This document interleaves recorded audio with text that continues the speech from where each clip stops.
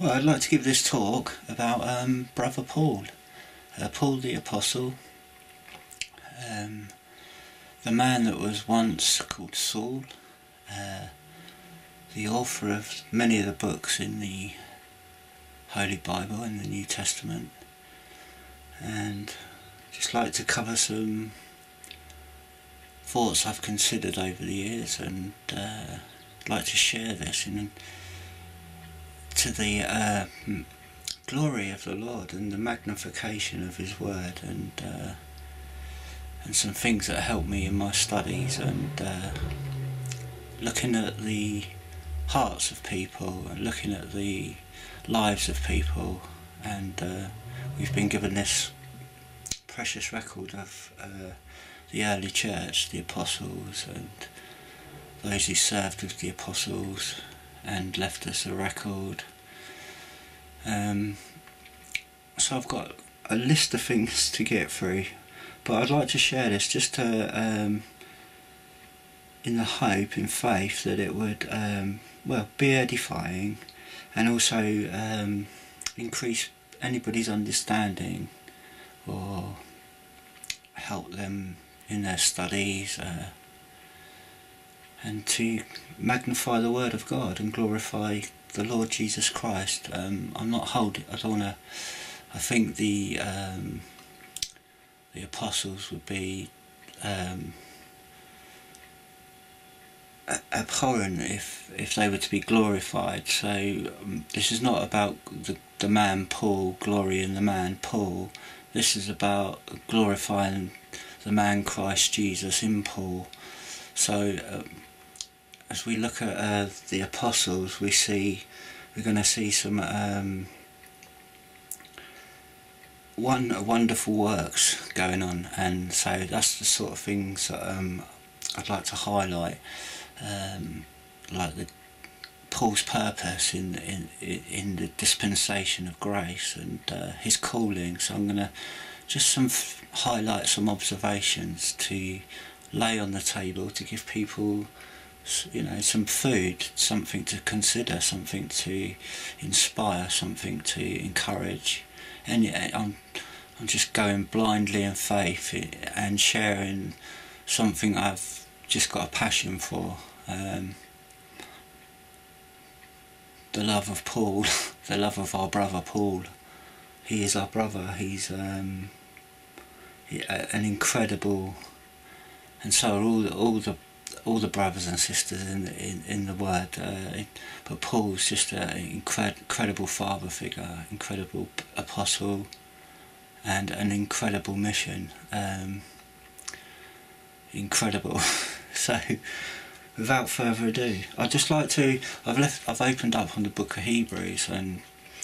And I've, there's a question mark in there. If you're if you're a a, a, a Christian, um, and you've come to faith and salvation in the Lord and you you come across the Christian world and you come across all the age old things that you that as a baby you just haven't got what are they talking about? And everyone sounds like an authority on the subject and there's so much that's gone before us that, that time and time again it has to be sifted through because you know everyone's coming up the road behind and they have to fight their way through find their path through the all the turmoil and you know the fiery trial of a Christian and and uh, finding yourself approved and established in the word where from your from your first love from when you're first saved and your daily walk. So um, one of those things for me was the the you know all the debate on who wrote the um, book of Hebrews, you know, and, and I think Paul's everybody's favourite choice. So um, I, I kind of think thinking about all these things in hindsight, which is a wonderful thing to have the hindsight of all this, you know, coming coming to the table, you know, at the back as we do in this day and age. We're coming up behind years and years of scholarly observations and Christians sharing their testimony and what they've learned. So coming up behind, we've got all this hindsight, so it's quite, you know, it's quite easy to, you know, be uh, put your pennies worth on the table with, and you've been freely given all that hindsight to be to afford you to make an opinion. So.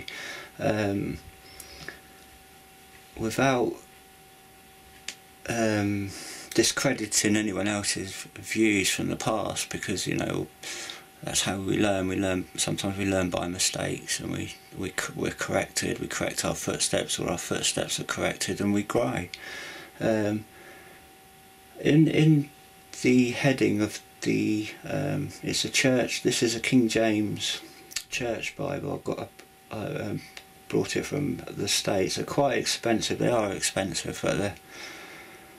Uh,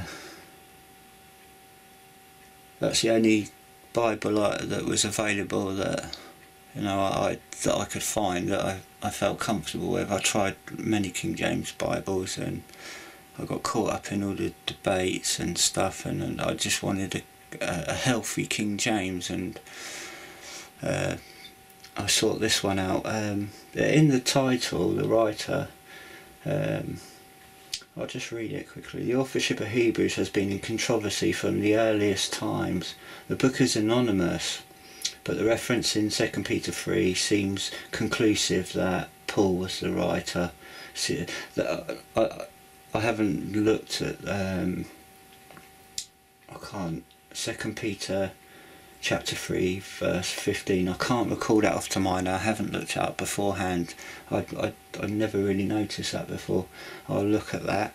But whatever that says I the point I want to make is the whole book of Hebrews I think the point's been missed. Now personally I do think it's Paul and I think it's um, Paul after progressive years of experience and revelation perhaps. And I'm just you know this is just my 10 pence worth um, but it's I'll get to the point it's irrelevant.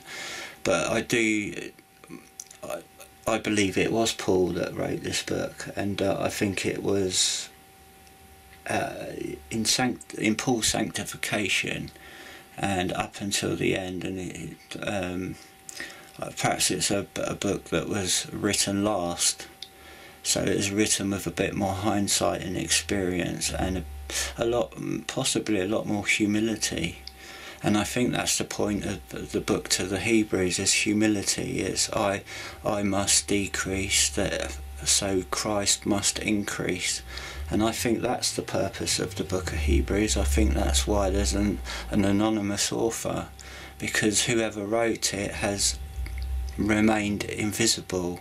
And to me the only the most visible other than the Lord Jesus Christ the most visible person in the scriptures is the one who's there the most and that's Paul.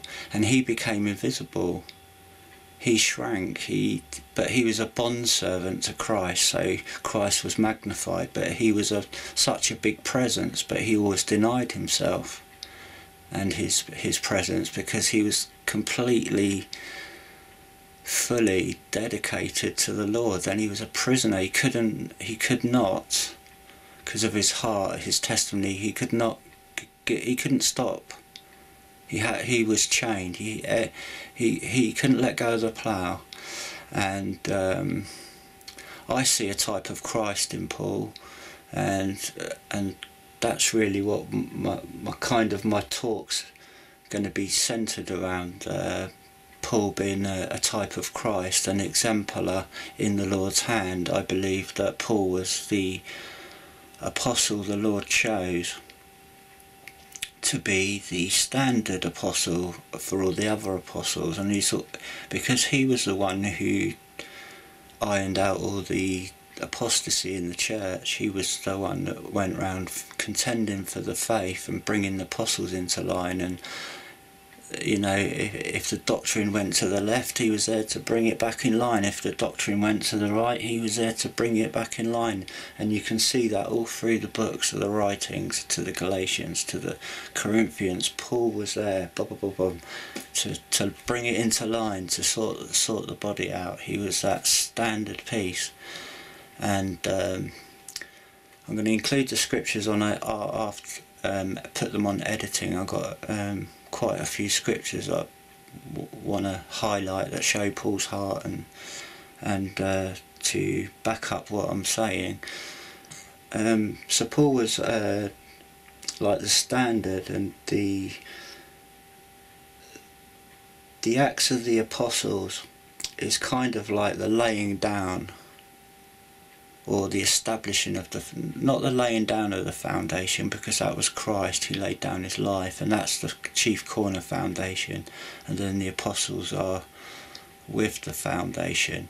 And then uh, the saints are, are, built upon the foundation with the apostles in Christ. Um, lively stones. So the book of Acts was kind of uh, all the works of the apostleship and the sign gifts of of what they were equipped and then laying down their lives so the the gospel would abound towards all that that had faith and believed and come along later and were built on top of of the foundation and through the work of Jesus Christ in Paul and the, the apostles and the ironing out of and the the writing of the scriptures and how it all unfolded and it was recorded and it was established and sealed with the the blood of the best men um, ever that ever lived, that ever walked this earth, and and those men were called of Jesus Christ. They were Christ, Christ's children, Christ's um, Christ's seed. Um, if we look at Paul, he was uh, his name was Saul and he was from the tribe of Benjamin, so he had a, um, a patriarchal inheritance with blessings. He was in a certain position, and um, so he was like a son of man, you know, a, a sinner, but he was a, a, a, chosen seed. So he was the son of a son of man in a type. He was he was ungrafted, so he's in, you know, like a fleshy man, a man, a fallen man, and then after um, his salvation, he becomes the Son of God. And it's like Christ. He's Christ. He's the Son of Man. He came in the flesh, although Christ wasn't a sinner, and he never sinned in the flesh. Um, he he suffered in a um, a, a, sinful world with um, sim, you know sin all around him, but he wasn't a sinner.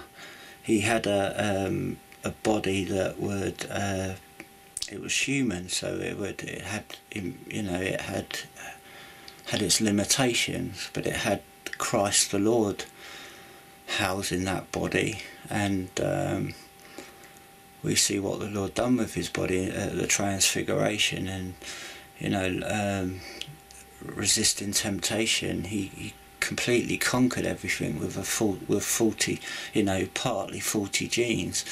And he overcome all those frailties and that. But he never sinned and he, he couldn't sin he wouldn't sin.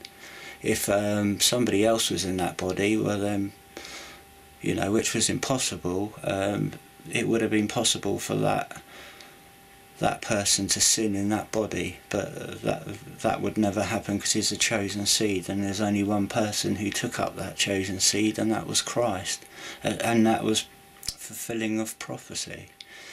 So we see a type in in Paul, shadow uh, of the Lord working. Um, when you think of uh, after uh, the um, the, now the Lord's ministry and the the, the apostleship. Um, now we know that Judas betrayed the Lord and he lost his apostleship, his bishopric, and it was given to another.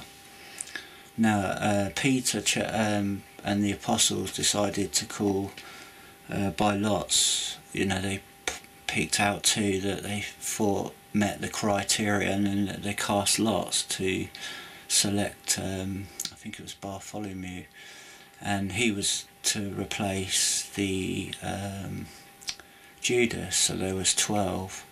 But Paul, now after Christ's um, death, burial and resurrection, and uh, when the Lord ministered to the saints and the apostles at that time, Paul wasn't in the picture. He wasn't there. He was um, he was an antichrist. He was a son of you know a son of man. He was he was against the church. So it's only later on he comes into the picture. So this is um, after Pentecost. And Paul's got the order from the from the Romans and the Jewish authorities to go and stamp out the um, the fire of the gospel, the free course of the gospel, and that's that's where the Lord met him and blinded him in the way, smack. And then Paul was, you know, um, crawled crawled off the roadside to recover and get his sight back. And um, the Lord converted him and chose him and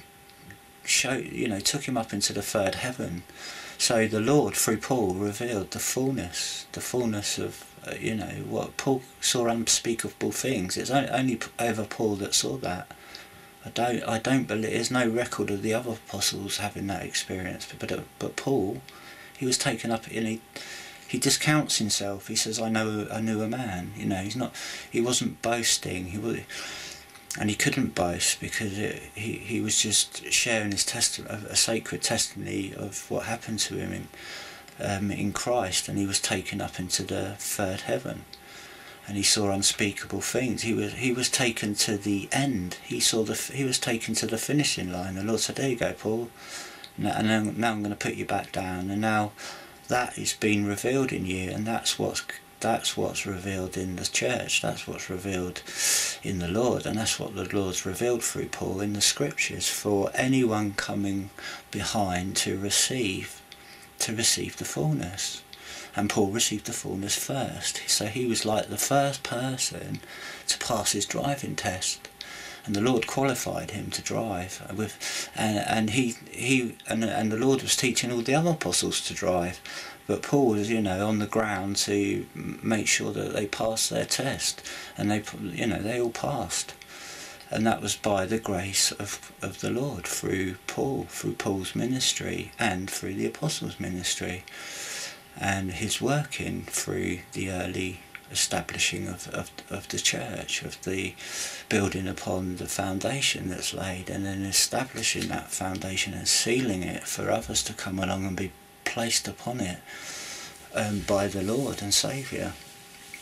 So we have uh, many uh, types and shadows in Paul's life. Um, even we can see in his heart that uh, he, he, he was beloved and he had that graciousness and that grace abounded because by you know by what he suffered you know um, all that weakness it was it's to benefit us it's to benefit those beforehand. So he really became a servant of all. He really did die for everybody you know he, for Christ. And uh, and he and he gave up he gave up his life at the end. And it's record I think it's recorded in the Foxe's Book of Martyrs. It says that Paul was like um, beheaded in Rome.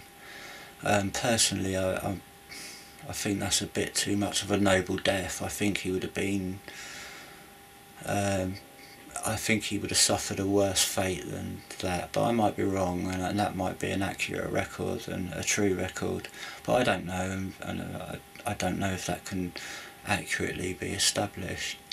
But I, personally, I think he would have that he would have been cruelly tortured and beaten, and you know they would have they the world would have really wanted to get rid of that man, and they would have probably buried him um, and and tormented him before uh, before they let him have a you know a, an end to his misery that they wanted that the devil would have wanted to inflict on him. But I don't know. That's my speculation. I I, I just believe that he would have had a harder time of it. But but I don't know. I'm just speculating. So we see a lot of the. Um, so all the doctrine really, the whole fullness was revealed in, in Paul, which is outlaid in the scriptures, um, justification through faith and the sanctification of the believer. You know, Paul's like the father for us and um, uh, it's shown, exemplified in the scripture where he says um, he was justified to do all things, but he he gave up, up all things so he'd be slave to none of them. So that's kind of, on one hand, you got a, you know, on the left hand, you got a load of backsliding uh, difficulties in the body, and on the other side, you got some really strong right-handedness of that's gifted to people, and kind of Paul. He, he, he even titled himself the chief of all sinners. So you, you think what a humble title that is that he's the chief you know he, he labelled himself as one of the chief of sinners you know and I think that covers all of us. He covers that type because we could all think of ourselves oh no Paul. I think I'm a chief more a bit of a chief of sinner than you.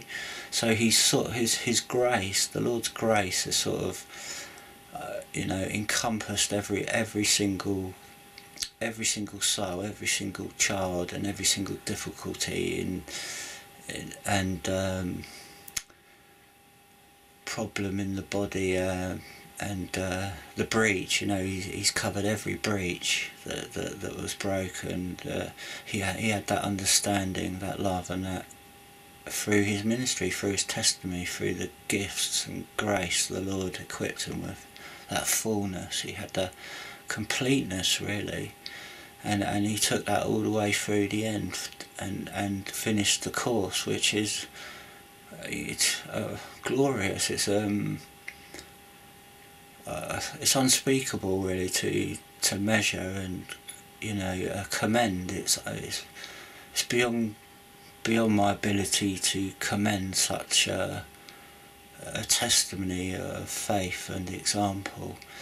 And um, the other debate is about Paul was what well what was Paul's sin? Because he said "I've got oh Lord take this thorn away from me and uh, and the Lord said no my grace is uh, sufficient for your weakness. So um, to keep him humble to keep him reliant and not not to take root and get too big for his boots get you know to you know to offend the Lord and you know for a deny him in his heart for that minute because you know the Lord the Lord kept him humble um, so he could uh, remain faithful to that, that um, the, the testimony he was uh, serving and testimony he was giving.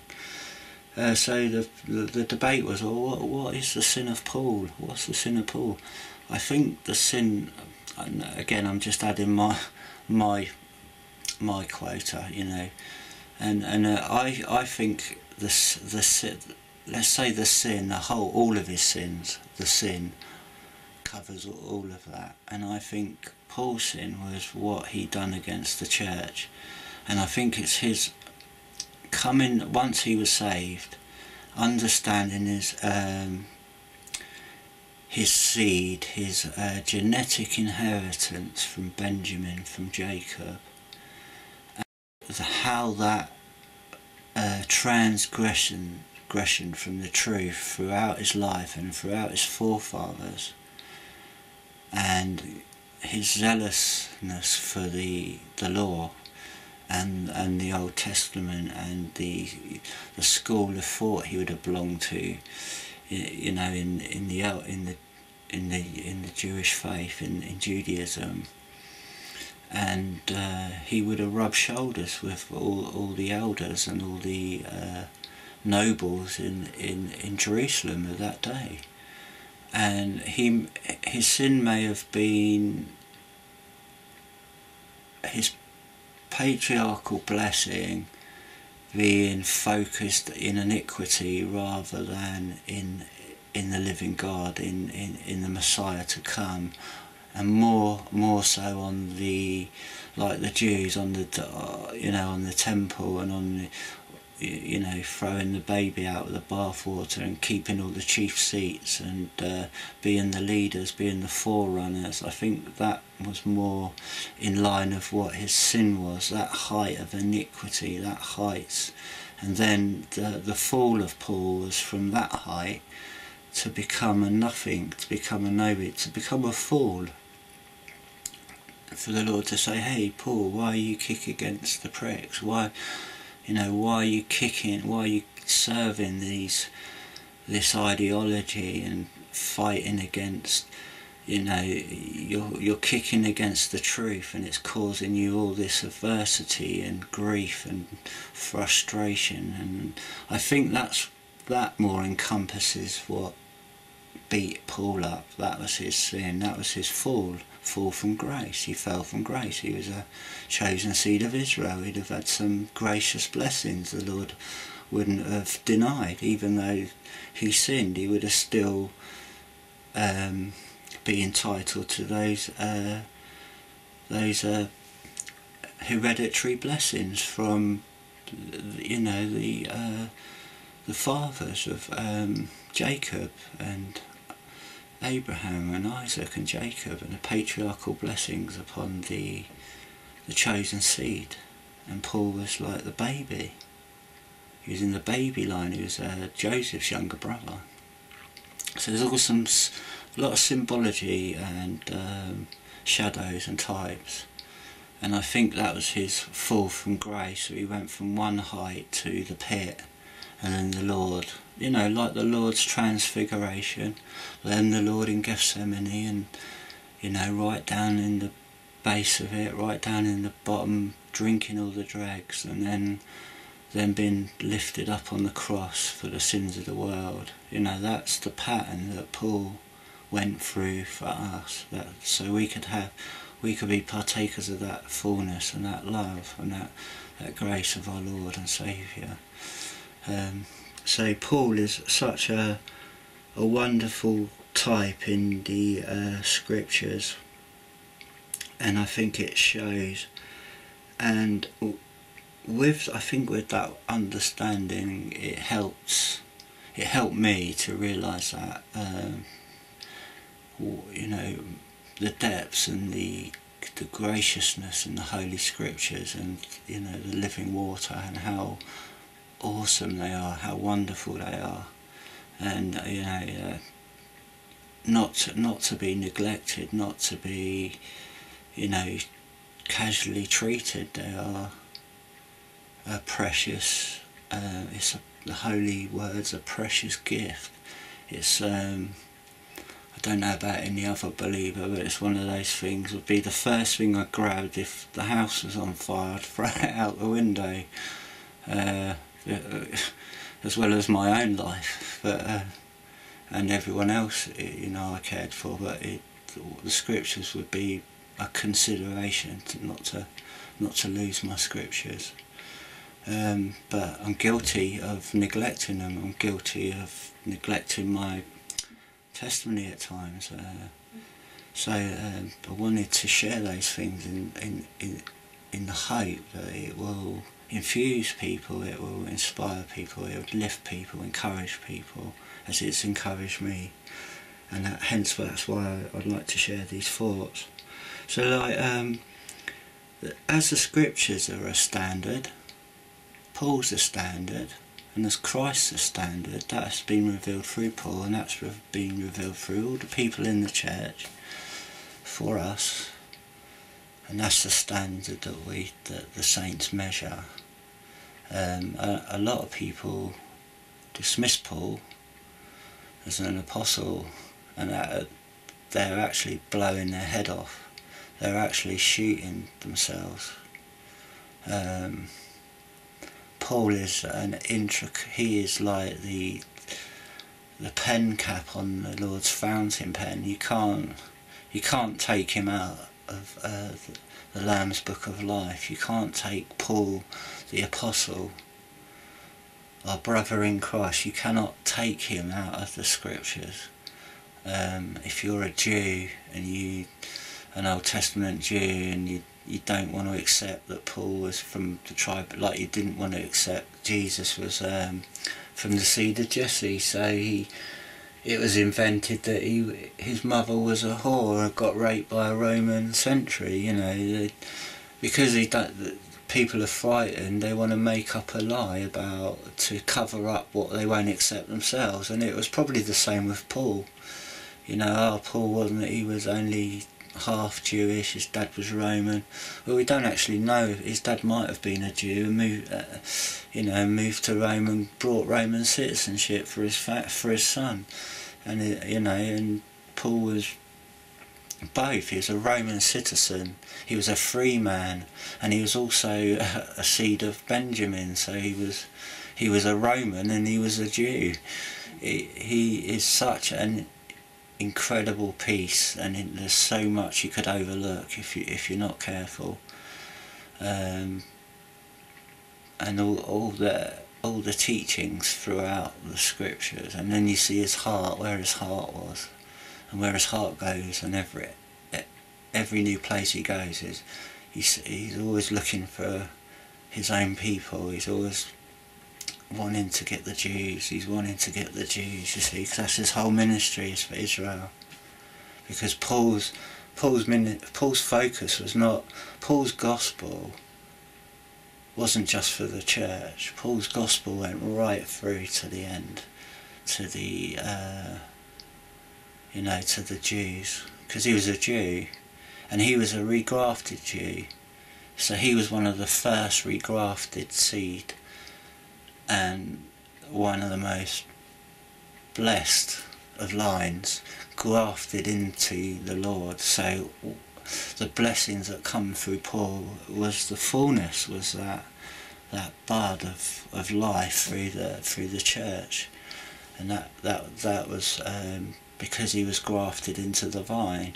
So he was a testimony for Israel. He was the hope of Israel. He had to carry the hope of Israel through the church age, through the through the loss. I, it's hard to understand why you know, the Jews were, you know, they're deafened and blind and it's like they oh it's impossible for them to get saved then so they're going to perish oh what's it all you know it's hard to exegete how how how um, a seed of Israel can get saved in the time of grace when their hearts are hard hardened and they're blinded. What you know is there any hope? Paul had that that conflict of heart of that of of that being the standard and the hope for Israel to take that forward. And he's done it, he's completed it, he, he's, he was victorious in Christ. And we have the preserved word, and that's what, that's what um, again, one day will be believed by the believing Jews in Israel when they come back to their Messiah, when they, when, when they realise their salvation, then they will accept Paul, then they will accept the Holy Word, the, the new and everlasting covenant given in Jesus Christ, revealed in the, the New Testament, sealed with the Lord's blood, the holy, precious blood of the Lamb, and all, the, all, all, all his children, all his seed, spilled with their blood and sealed. It's a lawful living record. It's a um, it's like four four key pieces of forensic evidence in a, a murder case, in a unsolved murder. Where's the body? Well, we have a, a merciful God who's forgot about the crime. He, he's more out, he's more, more concerned about the uh, criminals being saved, you know, being, being caught and treated and forgiven, uh, rather than executed and condemned. You know, he's um, merciful, he's outstretched, but he's just, and he can't deny his justice. So anybody denies his word, his son will reap his justice, but anybody accepts his son will harvest his eternal mercy. God is forever mercy. But if you're outside the mercy, you're you're under judgment. So we have a wonderful record to save us we have a testament of Jesus Christ and that was revealed in the Apostle Paul. Excuse me. Um, I think I've covered about everything I wanted to. Uh, yep. Uh, I had an, an, an, an analogy that came to mind uh,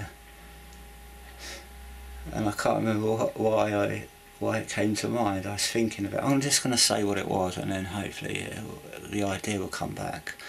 Uh, if you now, imagine an old grandfather asleep in his chair and, and then his grandchildren while they're sleeping while he's sleeping start to build up build over him like um, like a structure with Lego or Meccano or whatever whatever is available to children construction toys and and then they start to build up this scaffolding up the granddad's legs and then over his arms and bodies and uh, uh, this big monstrosity like covering covering this old man. Uh, and and then he wakes up and just shrugs it all off and it all breaks. And uh, he gets up and chuckles and walks off. Uh, and I had a, a, likeness to that, and I, and I can't think of the life of me what that likeness was. But I wanted to include, for some reason, I wanted to include that, but I've lost the train of my thoughts. So I'll, I'll leave it there for now because I, I can't think what it was. But and it had something to do with um, perhaps not reading your scriptures. Uh, you fall asleep, and uh, the devil's there and you build a net around you, you build a structure, a framework around you, your inactivity, your your uh, idleness, or or your backsliding, whatever it is, you're you're fall you're not fall asleep in a physical sense, and you'll die. You're spiritually fall asleep. You're spiritually stop looking and to uh, staying single to Christ, and then you, you, you become un, under there's no nourishment. You can't you can't produce any fruit. You can't uh, you, have turned away from uh, grace. So you, you you're out of help really. You're out of fellowship and you you you can't you can drift. So you could become like that old granddad. And these little devils come around you and then they start camping up round you and start building building like this sticks and brambles and all stuff all around you and then all it takes is for you to wake up and stand up and shrug it all off and um, once you get back into fellowship. But that was what the analogy was for. It was just to um, compare with what happens when we're not reading our scriptures when um, and I'm guilty so I have the foresight of this the knowledge of this experience and uh, it's so easy to slip back and fall out of fellowship even and it starts with scriptures it starts with prayer it starts with you know any any any any little thing that that has been given for us to benefit us to to bless the Lord, and we we do the opposite, uh, and and then we we can fall asleep in a spiritual sense, and then we could sin, and then the Lord could put us to sleep because we've become no good really, and perhaps you're not. I don't know. You're not going to get not going to get back from certain things, and uh, so the Lord mercifully takes people um, to heaven but I'm no expert. So anyway, anybody struggling with scriptures, I'd like you know, this is what this is for as an encouragement, as to claim the blessings, to study the book of Revelation. Revelations, a wonderful uh, blessing because it comes with a promise if we, we study it the Lord will bless us and it is a wonderful blessing to study any of the books of the scriptures but it's so hard it can be like a chore it's a spiritual thing so you, you have to be in the spirit to be hungry for that spirit and if you fall out of fall asleep a bit you you, you don't realize how hungry you are you're so starving you you you're delirious and um, you, you you know sometimes you need uh, somebody to come up and pop some water on put some water on your lips and quench your thirst and then put a bit of food in your mouth to get your appetite up. And um, so I hope this is an appetizer for somebody and to uh, consider those things and the analogy and the dangers how the Satan is on the sidelines ready to sift people. And um, it, it, that's dangerous, that's serious.